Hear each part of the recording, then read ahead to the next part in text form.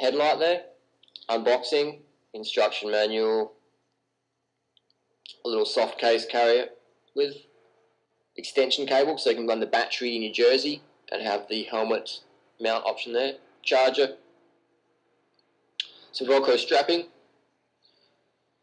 all the O-rings, another mounting options there, Allen key.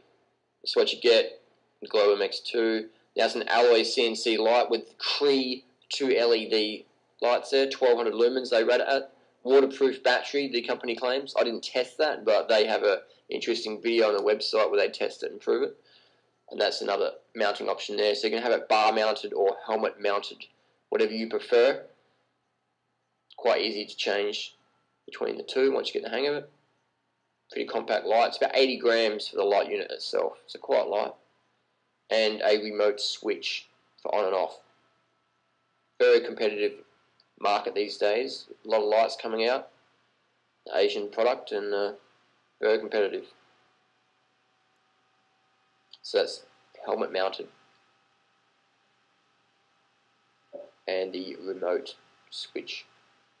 Testing, very bright, very bright light. This video probably doesn't do it justice, but it's definitely one of the brightest lights I've ever used.